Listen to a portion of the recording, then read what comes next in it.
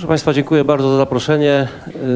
Y, Reprezentujemy taki, można powiedzieć, zespół, który w ciągu dwóch tygodni miał za zadanie e, zaprezentowanie takiego rozwiązania e, BI-owego na bazie właśnie ClickSense, które może e, być bardzo szybko wdrożone i bardzo i, i prezentować te dane, które są niezbędne do mm, no, w każdej nieomal branży. Ponieważ ja 30 lat spędziłem w branży transportowej i trochę tych danych posiadam, to, e, to pozwoliłem sobie to zrealizować na bazie rzeczywiście tych elementów związanych z danymi transportowymi.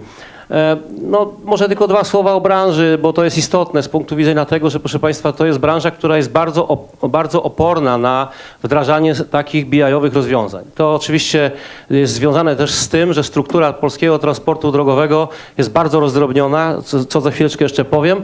Natomiast co istotne jest, to to, że skorelowanie PKB z tym pracą przewozową jest bardzo, e, bardzo silne, dodatnie i w związku z tym e, te wszystkie zmiany, które mogą zachodzić również z pu- z punktu widzenia zmian e, w gospodarce, od razu od, e, odnoszą się bardzo szybko do zadań transportowych, do przewozów, import, eksport. My szybciej widzimy, co się dzieje z gospodarką, niżeli przedsiębiorstwa, które produkują na przykład, bo od razu widać, ile, ile zleceń transportowych realizujemy na przykład w eksporcie czy w imporcie.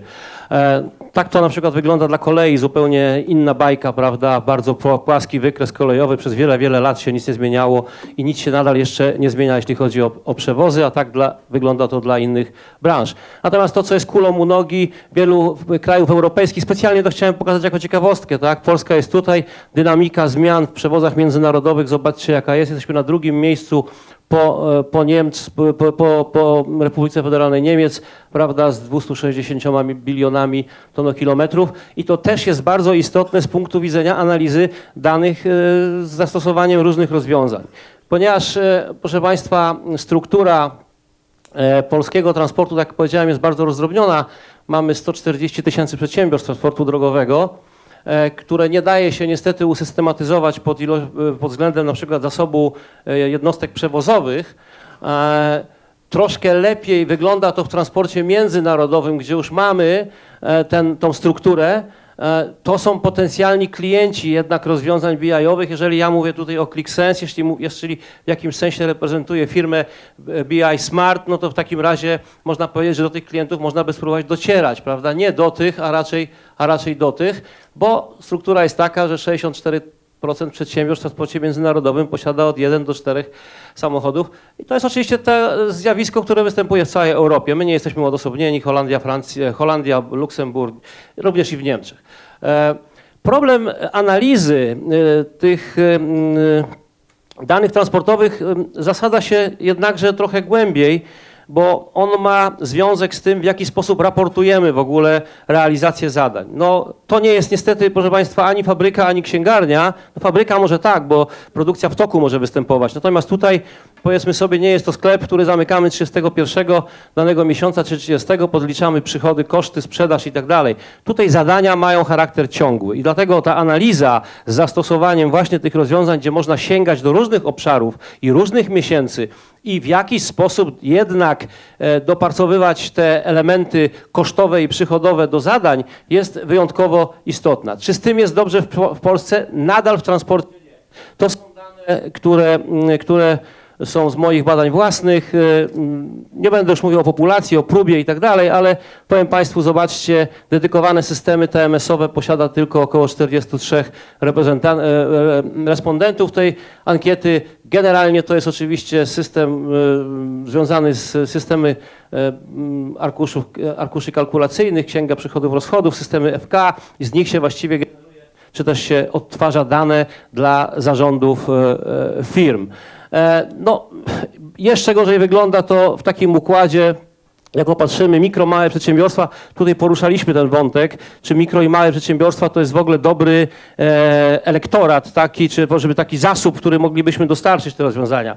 No wydaje mi się, że na razie, proszę Państwa, ze względu na poziom i tu któryś z prelegentów o tym mówił, o tej, o tej bardzo e, takim podejściu, e, że moje dane są wrażliwe, jak my je przekażemy gdzieś, to za chwilę konkurencja będzie nas wyprzedzała, to to jest wyjątkowo, tutaj widać zresztą jak to wygląda, jeśli popatrzymy o na przykład chociażby e, zatrudnienie osoby, która mogłaby się takimi, element, takimi mm, wdrożeniami zajmować, czy takimi, takimi analizami.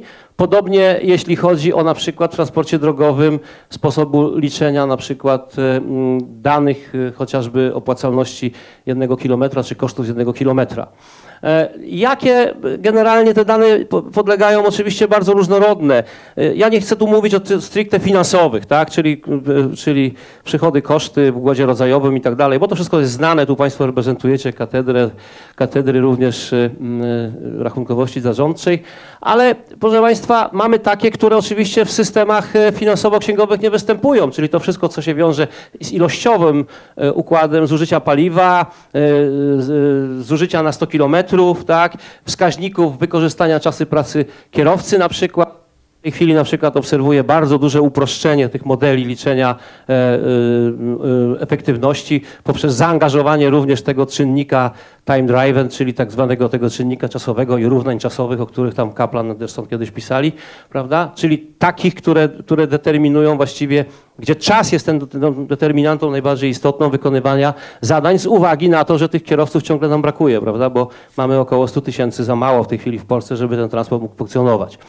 E, oczywiście są jeszcze takie współczynniki i takie, takie, takie wskaźniki, które są bardzo szczególne, one, akurat te, które przedstawiam, pochodzą z, pochodzą z moich badań i z mojego opracowania, e, które e, wyraziłem jako pewien element istotny e, do analizy, do analizy transportu.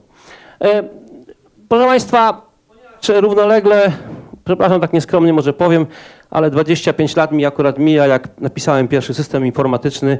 Tutaj jest jego jakiś tam następny następca, prawda, do zarządzania transportem, taki TMS-owy.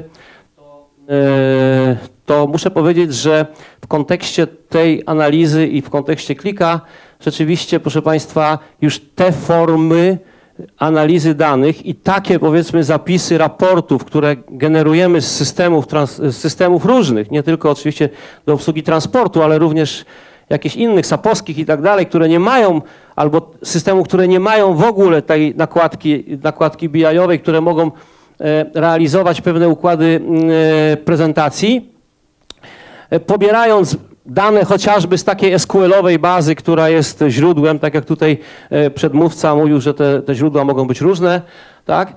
to, to rzeczywiście eksploracja, pokazywanie takich układów, one już są, one są coraz bardziej mało czytelne, coraz więcej zabierają czasu, no i w związku z powyższym e, jakby nie odzwierciedlają stanu faktycznego. My tutaj zaprezentujemy za chwileczkę właśnie przez ten krótki okres czasu stworzoną taką e, mini aplikację w ClickSense, która dane, które ja tutaj prezentuję, których korzystaliśmy, będą e, zaprezentowane. Jest jeszcze jedna bardzo istotna rzecz. Tutaj pan Nurzyński zdaje się bardzo to elegancko przedstawił.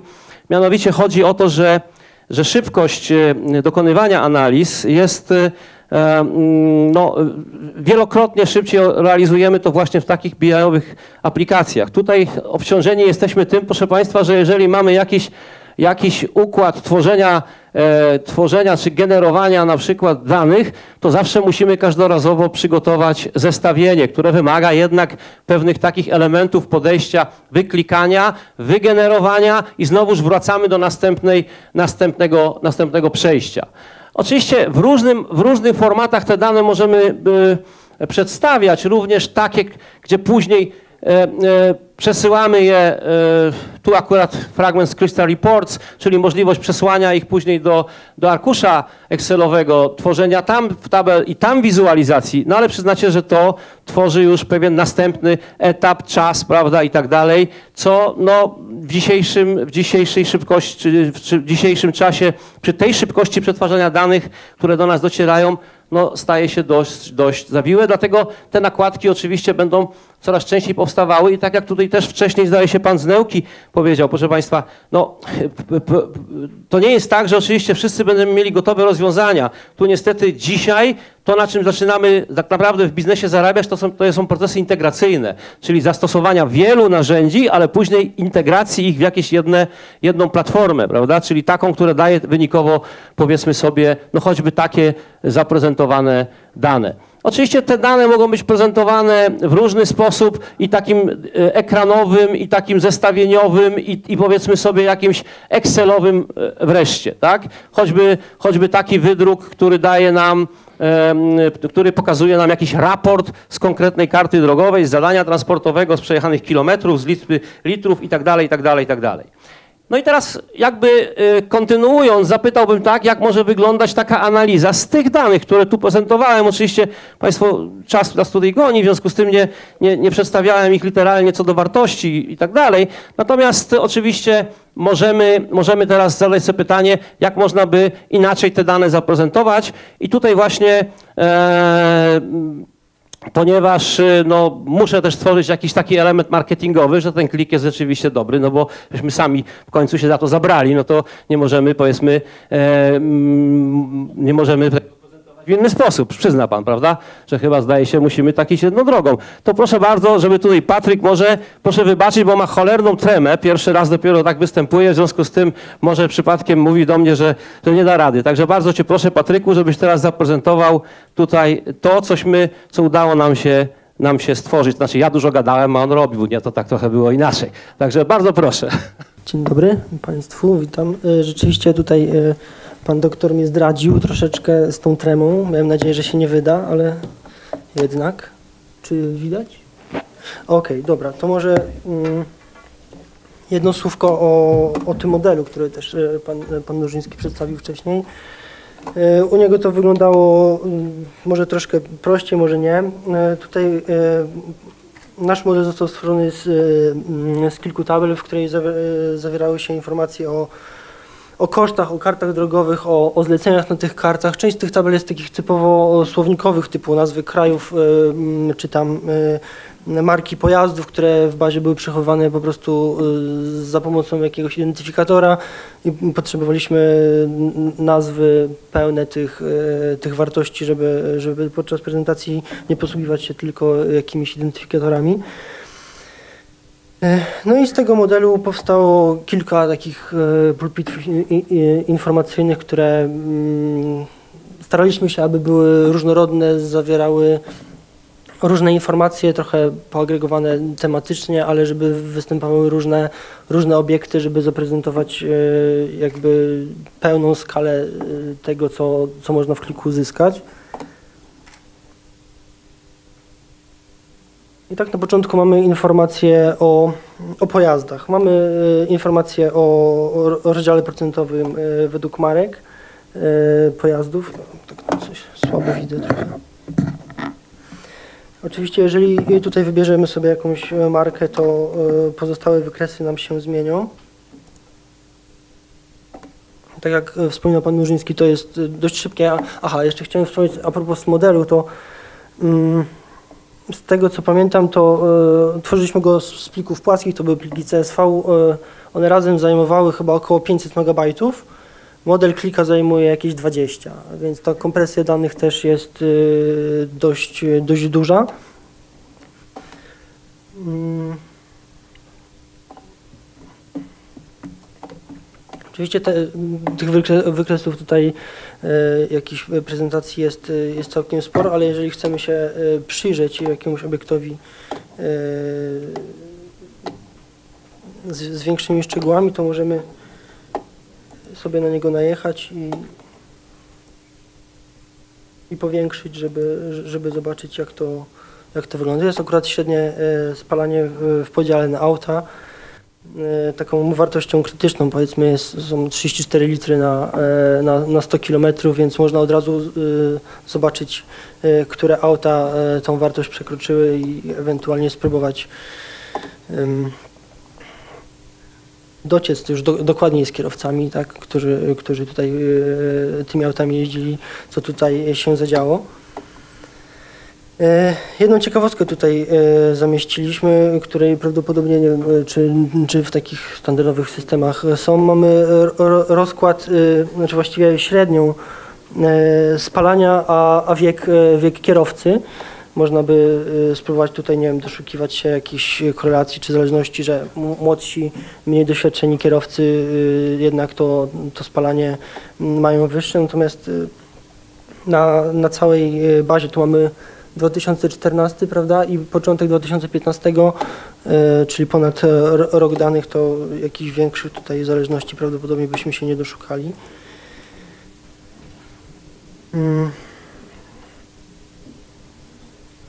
Kolejny pulpit został e, stworzony do, do podsumowań zbiorczych kart drogowych. Mm. Tak jak tutaj pan doktor wcześniej wspominał, ważne są te przeliczenia na, na 1 km, czyli mamy tutaj e, przychody na 1 km, koszt na 1 km. Jeżeli mm, wybierzemy sobie e, jakiś miesiąc, mamy październik, to, to te koszty, te gałki automatycznie się przesuwają, zielony, czerwony oczywiście y, wskazują nam, czy, czy wartość jest jeszcze w przyjętej normie, czy nie. Możemy to sobie też podzielić na, na auta, na jakąś markę. Jeżeli wybierzemy jedną markę, to na, na tym wykresie y, pokaże nam się rozkład y, już na konkretne auto.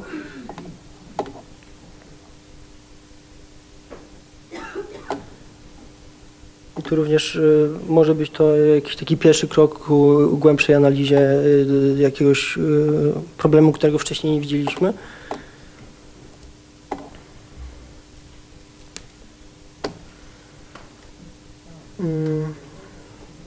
Kolejny pulpit zawiera informacje o, o przychodach i klientach. E, Tutaj można zwrócić uwagę szczególnie na tą mapkę. Niestety dane są takie, że większość e, kursów krajów docelowych, do których wyjeżdżały e, pojazdy, to, to Polska, więc żeby ta mapka stała się trochę bardziej czytelna i może użyteczna, ograniczę dane do wszystkich krajów poza Polską.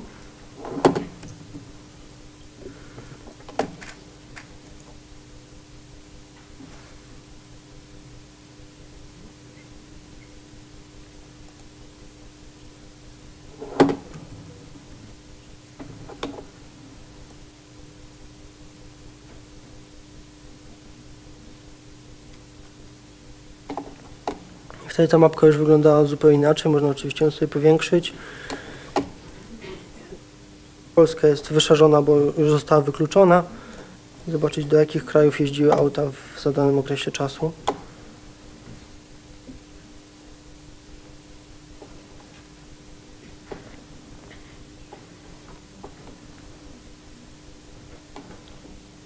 Na końcu y, jest y, takie zestawienie mm, podsumowania jakby jednej karty drogowej, czyli tego jednego zdarzenia, które, y, które w transporcie występuje, które wcześniej pan, pan doktor zaprezentował jako taki PDF, taki jakiś zrzut, prosty, prosty wydruk, to tu można to zaprezentować w trochę innej formie. Mm, Oczywiście możemy mieć jakieś dane statyczne, które nam się podstawią, że to będzie jakaś data, obliczy nam ilość dni, pokaże nam mm, jaką trasę e, auto przebyło w, da- w danym czasie, ile, ile zleceń zostało w tym czasie wykonanych. Nie prezentuje się to zupełnie inaczej, niż jakiś taki prosty, prosty PDF. Jest to graficznie trochę bardziej przyjazny niż mm, taki prosty, prosty wydruk z programu transportowego.